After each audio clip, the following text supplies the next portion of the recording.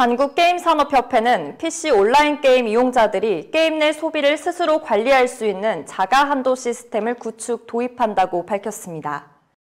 자가 한도 시스템은 월 2회 조정 횟수 제한과 각사별 최대 결제 한도 설정, 개별 소비 정보 페이지 운영 및 결제 내역 알림 서비스를 제공하는 기능을 갖추고 있습니다.